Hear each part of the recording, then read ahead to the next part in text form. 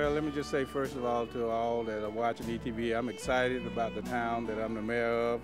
It's a small town, but it's one that is loving and, and caring for everyone. Uh, you know, uh, it's strange that you asked me about the history of the town. Uh, one of the tales that we tell how the town got their name is that uh, years ago, uh, John C. Calhoun come through here riding a horse, and uh, and he got drunk up on top of this hill up here and, uh, and the horse reared up and fell off and said Calhoun Falls. And so that's how we have our name, and and uh, and uh, we're just excited here about the town and the future of the town. We're on a lake, Lake Russell, and uh, undisturbed uh, man-made lake at this present point in time uh, with a 400-foot pool level.